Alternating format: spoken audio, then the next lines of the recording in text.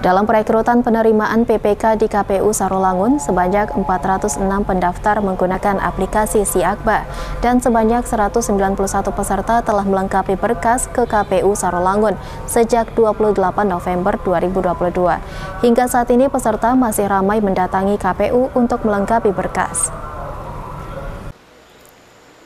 Selasa 29 November 2022 hingga pukul 24.00 waktu Indonesia Barat, tahapan rekrut PPK di Kabupaten Sarolangun akan berakhir.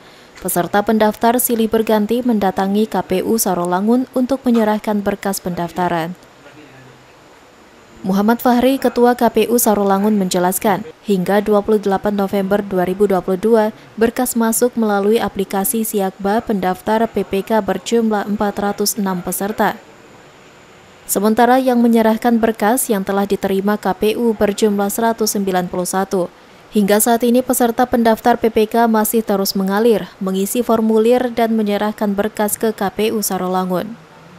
Berkas yang diterima tanggal 28 kemarin jam 16.00 itu sebanyak 191 yang berkasnya sudah diterima.